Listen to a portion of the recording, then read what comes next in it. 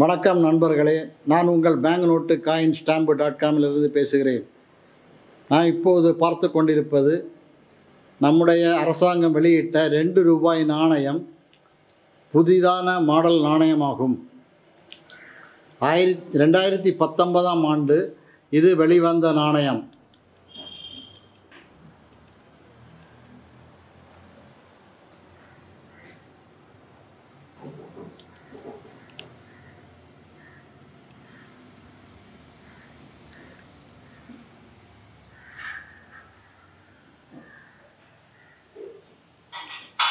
இது புதிதாக பழக்கத்திற்கு விட பழக்கத்துக்கு விடப்பட்டுள்ளது. இதுதான் இனி எல்லா இடங்களிலும் நமக்கு பழக்கத்துக்கு கிடைக்கும். ரெண்டு ரூபாய் நாணயம். ஆயிரத்தி ரெண்டாயிரத்தி பத்தொன்பதாம் ஆண்டு வெளிவந்த நாணயம். ரெண்டு ரூபாய் ஐந்து ரூபாய் மற்றும் பத்து ரூபாய் இருபது ரூபாய் ஆ- ஆகிய நாணயங்கள் ஒரே மாடலுடன் கூடிய ஒரே படத்துடன் கூடிய நாணயமாக வெளிவந்து வந்து வந்துள்ளது. இது காப்பர் நிக்கல் வகையை சேர்ந்த நாணயமாகும். இதன் ஒரு ஒரு பகுதியில் அசோக சக்கரம் பதிக்கப்பட்டிருக்கிறது இந்தியா என்றும் பதிக்கப்பட்டிருக்கிறது. மற்றொரு பகுதியில் டூ ருபீஸ் ரெண்டு ரூபாய் என்றும் அதில் மலைத்துளி வடிவத்திலும் டிசைன் காணப்படுகிறது. இவை ஐந்து ரூபாயிலும் பத்து ரூபாயிலும் இருபது ரூபாயிலும் இதே வடிவத்தில் டிசைன் காணப்படுகிறது. வடிவம் வித்தியாசமாக இருக்கும். டிசைன் ஒரே டிசைன் காணப்படும். ஒரு ரூபாய் நாணயமும் ரெண்டாயிரத்தி பத்தொன்பதில் வெளிவந்ததாக கூறப்படுகிறது. ஆனால் மக்கள் பழக்கத்திற்கு வைர வரவில்லை.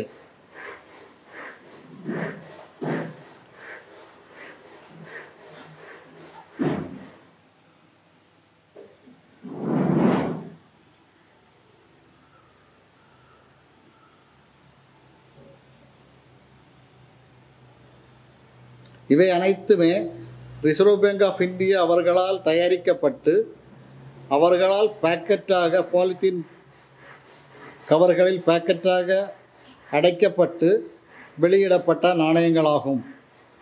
அவர்கள் காயின்ஸு நாணயம் காயின்ஸு வெளியிடும்போது பாக்கெட்டாக வெளியிடுவார்கள்.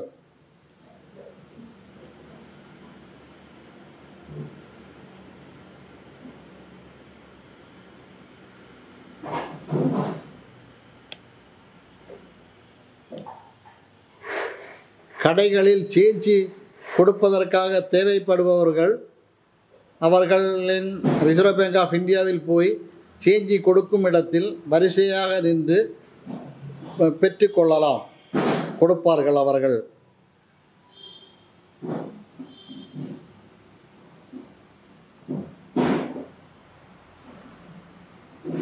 மற்றும் அனைத்து பேங்குகளிலும் உள்ள கரன்சி செஸ் பேங்குகளிலுக்கு அவர்கள் அனு அனுப்பி வைப்பார்கள். அதிலிருந்து பிரித்து வேறு வேறு பேங்குகளுக்கு அவர்கள் கொடுப்பார்கள். வணக்கம்.